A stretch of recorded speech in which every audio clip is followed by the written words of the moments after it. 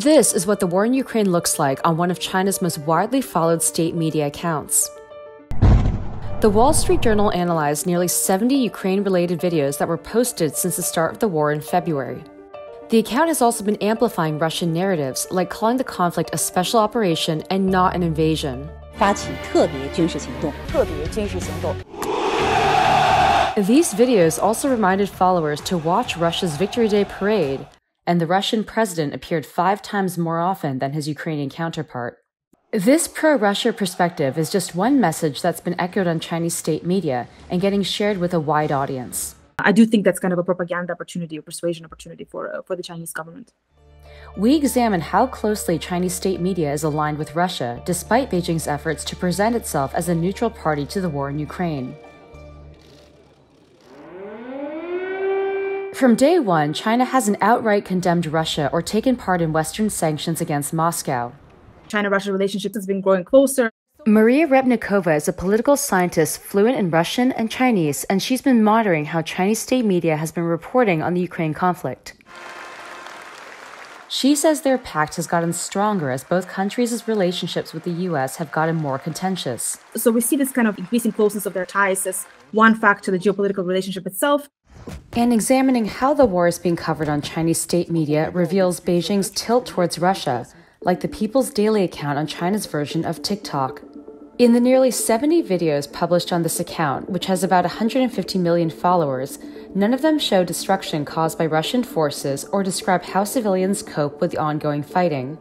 14 of the posts are clips from China's foreign ministry, which often repeats a common line from Moscow with dramatic music. 美国作为乌克兰危机的始作俑者，为什么美国人一直在对中国进行污蔑抹黑？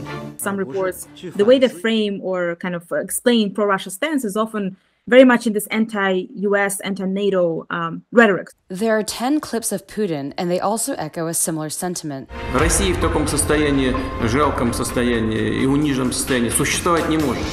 The decision to single out sound bites like this show a deliberate attempt from Chinese state media to paint the West as the villains of the Ukraine crisis.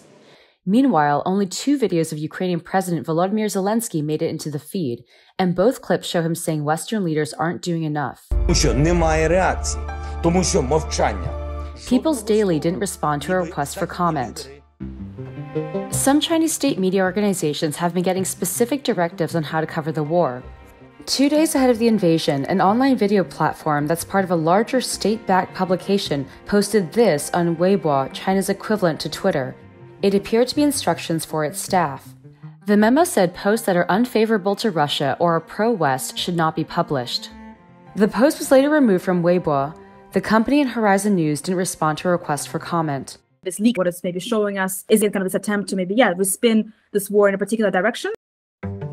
Journalists in China are limited in what they can write about, which can be observed on the country's primary international news network. In one news report posted on CGTN's Facebook account, which has more than 118 million followers, two journalists documented their journey from Lviv to Kiev. Just one hour drive from Kiev. They're not allowed to be maybe too sympathetic or too pro-Western or too pro-Ukraine. We definitely see more debris and ruins uh, after brought by the uh, conflict and crisis. Then they have to kind of say it's happening, but they're not able to provide the context or maybe include more footage of various victims that would provide the context. CGTN did not respond to a request for comment. Much of that context was missing from Chinese state media when mass graves were discovered in the Ukrainian town of Bucha. The incident triggered global condemnation, with many countries calling for an investigation into alleged atrocities committed by Russia. There's nothing less happening than major war crimes. Responsible nations have to come together to hold these perpetrators accountable.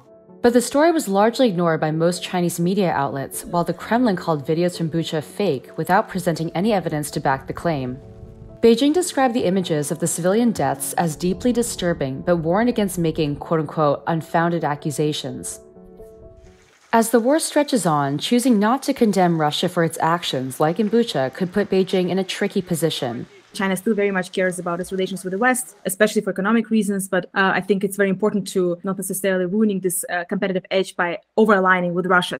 So Beijing has officially maintained a neutral stance amid the war, and this diplomatic position hasn't contradicted what's been published on state media. It's definitely using it as an opportunity to assert its stance and its rise as distinct from and, and arguably also counter to the West, questioning the role of the US, critiquing the US.